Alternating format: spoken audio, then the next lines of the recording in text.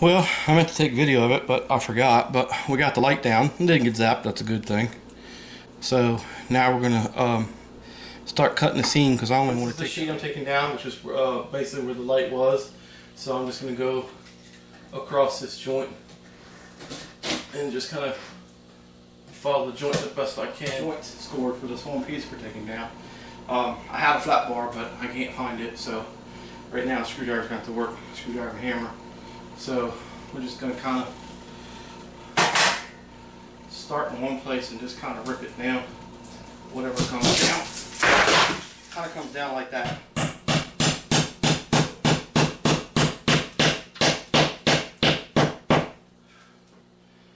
Alright, so as you can see I got the drywall up.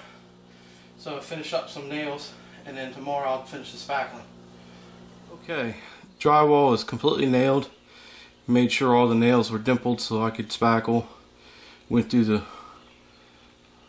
all the rest of the joints and uh, cut it with a razor knife and scraped out all the drywall so that I could re-spackle and retape all the joints properly. So we're ready for spackle. Alright, like I said, day two. Drywall's all nailed up. Make sure all the nails were dimpled so I could spackle. And I got that. All along there is mudded. All the way up to the wall. So that's all I've got done so far. Some holes patched there and there. And then once those dry, that wall there actually is going to get completely skimmed with drywall. Um, so I can paint it because I tore wallpaper off of it. So next weekend I actually have a three day weekend. Um, so I'm actually get a whole lot done next weekend. Um, I did find a new way to sand. Um, actually wet sanding works excellent. I would highly recommend it to anybody do drywall instead of paper sand, do wet sand. Uh, matter of fact, next weekend I may take some video of, of me wet sanding so that you can actually see how it's done still a, way, a long way to go, but like I said, we're uh, we're getting there slowly. Okay. Working on the kitchen again this weekend. Uh, Sunday's the only day I got to work on it this weekend. I had other stuff. Um, got almost all the sanding done. Uh, like I said last week, um, I'm actually wet sanding.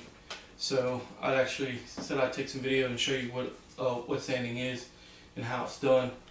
Um, so, just got a uh, bucket of good warm water and use uh, sponge with the green side and then a regular sponge on one side and just dip it in water.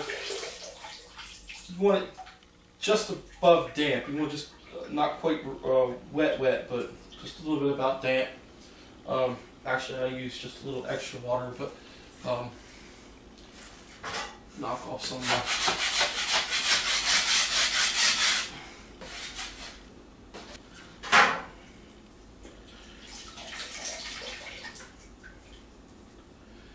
just wet it.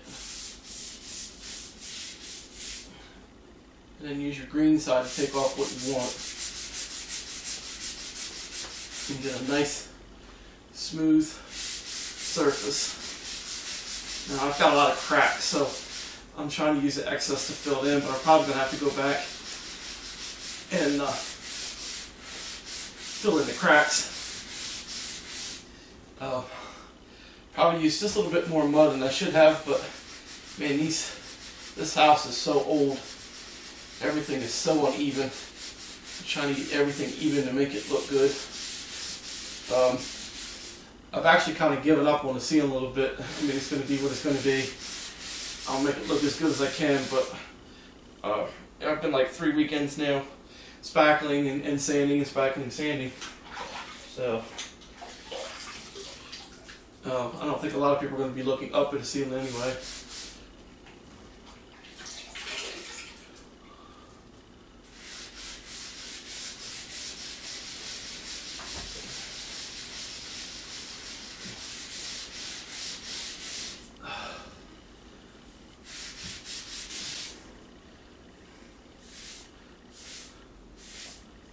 So that's basically how you wet sand.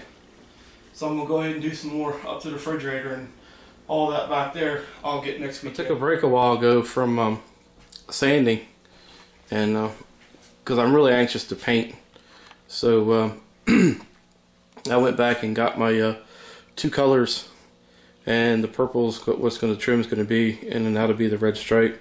I just kind of slopped that up there just to see what's going to look like. Um, the other reason why I did it too is on the trim. I'd actually talked about um, getting some stripper and strip it, but this project's taking way too much money and way too much time.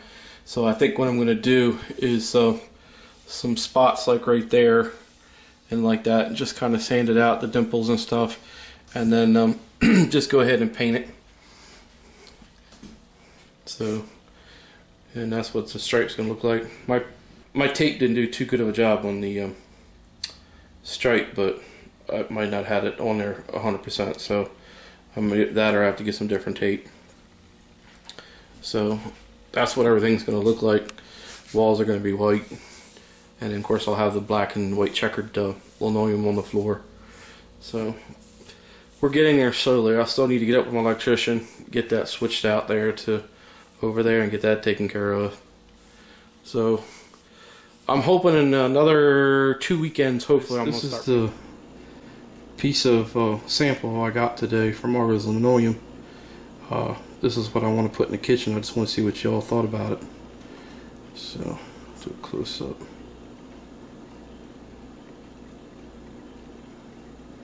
I said the kitchen is going to be a 50 style diner. I wanted a straight checker, but that's all they said they had. So, Give me your opinion. Let me know what you think.